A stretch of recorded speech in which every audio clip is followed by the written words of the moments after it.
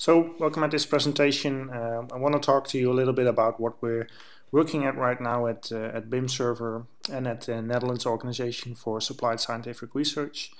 This is a little bit, um, it, this might be a little bit futuristic, uh, but it's a, it's a movement we're working on for a year or maybe two years right now. And um, there's, there's some uh, pretty nice demos I would, I'd like to show you and um, have some feedback on that. Um, it all started with a 2011-2012 research uh, where we came to the conclusion that there is no central BIM. There's no central data repository that holds all the data and everyone connects to. The building industry is a fragmented industry uh, and we don't work all together on one single model server. Um, this research even found that it was more effective to work in a network organization than all, everyone working on the same central server or central file. Um, there's a presentation on that on, on this link, uh, but on the BIM server website under the uh, uh, scientific innovations, you can also find a link to the research paper. So this is where it all started how can we make an, an, an, effective information exchange, effective data exchange in a network structure instead of in a one central data repository concept. So that's how we came up with the event-driven IT architecture. This is a picture from Microsoft um, where different processes or different servers, different online services, web services, um, send out events uh, to different other processes. So it's not really a workflow, uh, but it could be a workflow uh, that is generated on the fly. It's all different separated individual processes uh, and they all send messages to other processes um, when that message is applicable. So uh, in that architecture, there is no central server either. All the different processes can be different online services. It could be a BIM server, could be a level of development checker, could be a, a, a floor case supplier or a staircase supplier uh, that does some um, online modeling. It could be a clash detection service, could be a validation checker, could be a, a, a whatever. Uh, and all these services are uh, not really connected in a workflow, not really connected in a web service interface, in a, in a web service environment. Um, they're all uh, uh, separate individual services. You can upload a file to that service, uh, but that service can also be triggered from a different service with the events. This, I know this sounds a little bit vague and abstract, so let's give an example. Um, this example uh, uses uh, the, the BIM views, a graphical user interface to connect to uh, a BIM server. Um, we created a project, it's an example project, um, and at this moment we're clicking um, on the add service button. And at that moment we get a list of all the local running services, but also a list of uh, stable and known remote services. We hope this list will grow. We also have uh, a lot of test services that are not mentioned in this list. Um, uh, and at the end I'll show you some of the initiatives we have to uh, to hope hopefully stimulate a lot of these services. So at this moment there's a TNO BIM server that provides a furniture placer service uh, and this service will be triggered every time there's a new revision on uh, this example project that we just made on, on our own BIM server. So when you click add, um, we can do some configuration. Yeah, you'll see some uh, uh, some information about the service. We have to pick a profile. At this moment, there's only one profile for this remote service. Uh, so the furniture placer only has one profile. Um, so I can select that. Uh, it, it could be possible that there's a public profile or a, um, a, a non-public profile. Could could be that there are more profiles. Um, the, the, the profile concept is introduced to give uh, service providers the ability uh, to provide free services or uh, commercially paid services. Um, and also the ability to fine-tune um, different uh, responses from the service. For example, the clash detection service um, you might want to fine-tune or, or um, tweak some preferences in the clash detection service like margin or what kind of objects are being uh, uh, being uh, ana ana analyzed. Um, so when you make an account on the clash detection service uh, and you log into that remote account in this view, you'll see your own profile with your own uh, uh, settings. Uh, and this also creates a, a, um, a, business case for the remote services to actually make money with their services. So in this case, there's only one uh, remote profile and it's free. So I select that. And then I have to um, I have to uh, make uh, give the remote service some uh, some rights. So in this case, he can read my revision, and he can write a revision uh, back to a specific project. So I have to uh, I have to give a project here. I have to give the remote service the the rights to write a revision to a specific project. And after that, I can even add a model checker. And in this case, um, the model checker always passes because it's just a demo.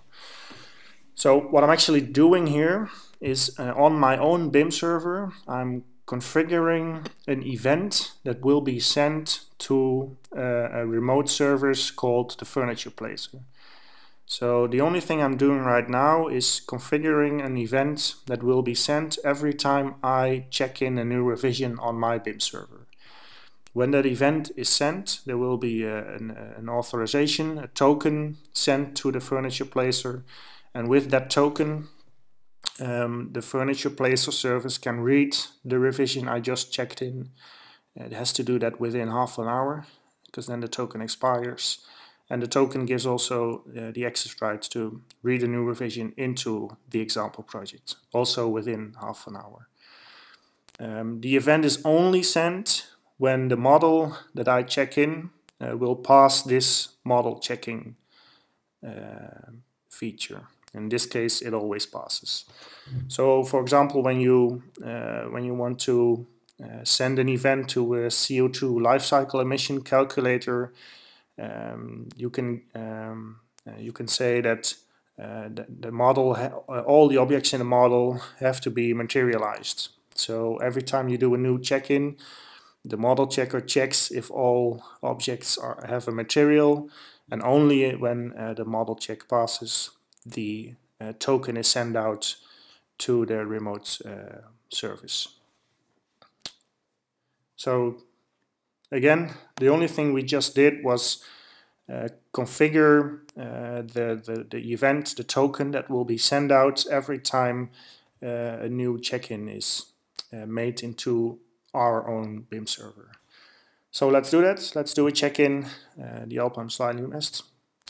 Uh, it will be uploaded, will be checked in, and immediately after check-in, um, uh, the event is uh, sent out, and the token is sent out, and the furniture placer responds uh, with a progress bar.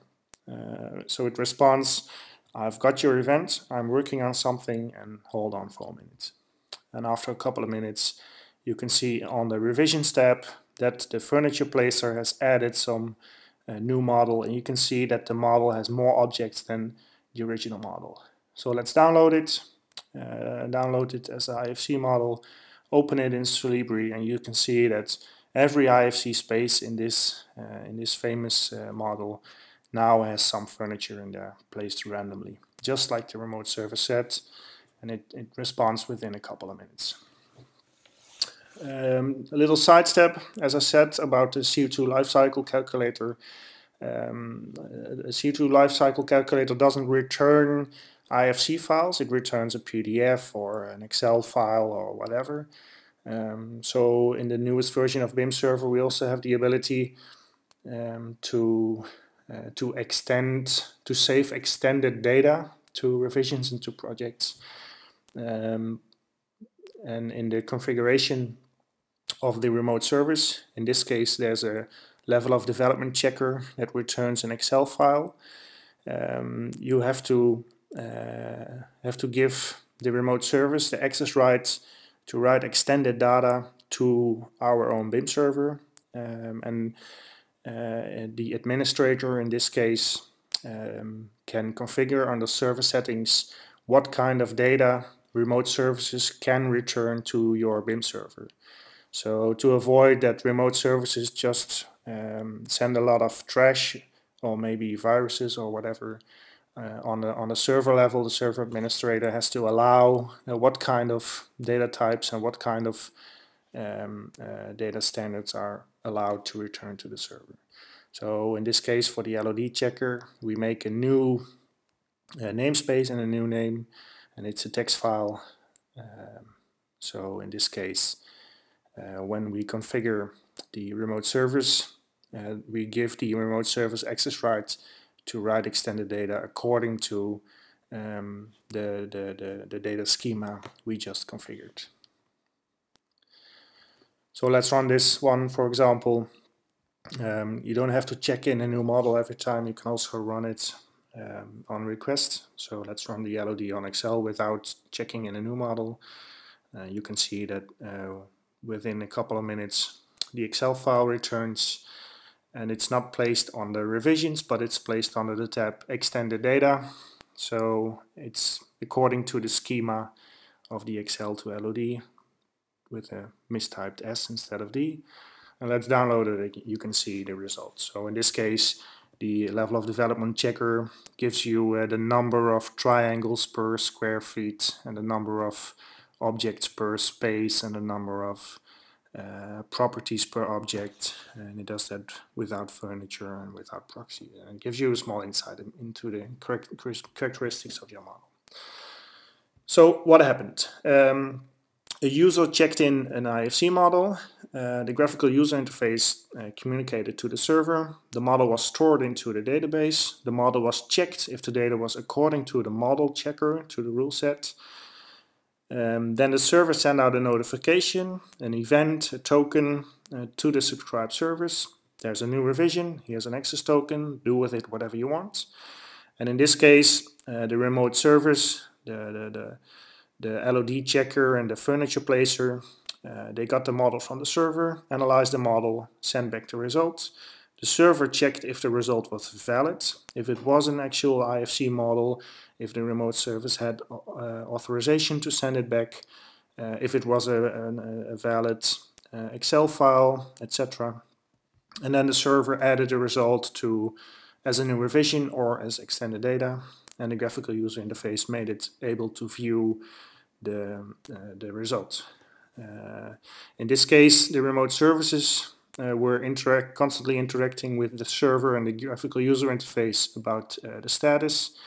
Um, it, it doesn't have to do that uh, because it's not a, a, a, workflow connected server. It's just uh, BIM server just sends out a token and then it stops. Uh, and when the remote server sends something back, that's nice to have and you can show it in the log um, but it doesn't have to do that. It doesn't even have to send back results. It, remote servers can also send the uh, Excel sheet from the level of development checker, for example, to your email. It doesn't have to send it back to the server. So it's an event-driven system um, that doesn't have to be a response, so it's not a fixed workflow. Um, so the bigger picture is that um, results can trigger um, other remote services again. So when an LOD uh, Excel sheet comes back, that could be a trigger for another service again. Uh, or for example, when clash detection results come back as BCF, that could trigger uh, another service because when there are no clashes, only then another remote service will be um, running. And remote service can trigger uh, remote remote services. So the furniture placer on its turn can trigger another remote service that adds some extra furniture, does some extra analysis, and then sends back the results. So it's not a one-to-one -one connection between services, it's actually a network of interconnected event-driven services, which makes the bigger picture. Um, at this moment, some applications um, that work uh, with this principle that are in the making uh, obviously is our own BIM server because uh, BIM server is nothing more than a BIM data service We are actually doing experiments right now where we don't have one BIM server for a project, but every partner in the project has its own BIM server and they're, they are triggered every time um, uh, it is interesting for the other partners. So every partner has its own list of revisions uh, and there's not one central model repository that holds the truth, but everyone has its own BIM server and it's only synchronized um, when data is, uh, uh, is according to a specific model check. Uh, a, a, video about this demonstration will be on our blog on bimserver.org, uh, hopefully pretty soon. There are clash detection services in the making, CO2 lifecycle calculators, floor plan generators, um, uh, automatic uh, staircase modeling services. So, uh, for example, when an architect uploads a preliminary design to a BIM server, um, it, co it connects to a staircase modeling service and the, the preliminary uh, roughly modeled staircase is replaced uh, by a very detailed uh, staircase from the supplier including in delivery times, costs, materials, etc. So this is this sounds like a very nice to have um, and for staircases maybe that's all it is but for floors or walls, windows, um, it, it could bring all the knowledge from the suppliers into a very early design stage uh, from the, for the architects and because it's all automated it could be cost efficient. So this is the real innovation we're trying to achieve as a research institute. At this moment there's an Android app uh, there are loggers anal analysis, validation checkers, furniture placer. You just saw there's a space invaders application that looks on uh, where piping um, comes into a specific space. Uh, there's a 2D uh, floor plan generator, a renderer, uh, and all these services are automatic and uh, event-driven on demand. Um, there's a pretty old demonstrator we made a couple of months ago that um, when you check in a model, the staircase supplier, floor, su floor supplier, and inner wall supplier uh, return their automated um, proposal of uh, of their objects uh, within uh, within a couple of minutes. These are not placed into the same project, uh, so they're placed into a separate sub-project of the architect, so it doesn't override uh, his revision but it only adds to the revision. Then the clash detection services run, there's a check on the IFC quality, there's a CO2 lifecycle calculation, which is very rough, by the way, it's not a very detailed calculation. Um, then this uh, synchronization between the data source project members takes place and the client gets an updated spreadsheet in his Dropbox. And when you look at the numbers, uh, this is not a sequential uh, workflow. Uh, the events are triggered uh, after specific other events take place. Then, uh, as I promised a couple of minutes ago, um, at this moment uh, we're working on the bimfederation.com which, which lists a couple of BIMSie compliant services. Very simple, one upload, uh, you can connect to a lot of services.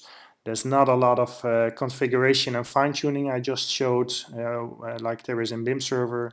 There's only one-to-one -one feedback, no iterations or events. So all the uh, nice future possibilities I just told you and I just showed are getting stripped because the goal is to explain that you don't have to have one one black box, one platform, one software that can do everything and has a lot of features but it's really about connecting different niche applications um, and, and building an ecosystem uh, of niche applications that automatically interconnect to, it, to each other. This is planned for April 2014, but I can show you a couple of screenshots. At this moment, the BIM Federation looks like this. There's only two remote services in there. Both of them are from us. Um, but there's a Dutch uh, architectural firm called Siep Architects uh, that made um, uh, uh, um, a property analyzer for IFC and that will probably be in there. Uh, and all the different um, remote services I just showed you in the list. Some of them are, will be public and will be uh, available for free and they will be listed in here. So when you log in, you have the ability to upload an IFC model, so no project creation, no configuration of, uh, of services, uh, just simple upload, uh, select the remote services you want to have triggered, uh, the model is checked in and you'll get a result, uh, in this case the uh, level of detail analysis, and after a while also the furniture place, so you can download the results. So this uh, won't trigger another service again. Uh, it's just a simple, uh, simple concept to show that it is possible to connect to automated remote services. So limitations, yes, there are limitations. Um, but you don't need your own server to test it. You don't have to install BIM server. And our goal is really to explain the concept, have the ecosystem grow, and give a podium to remote service providers.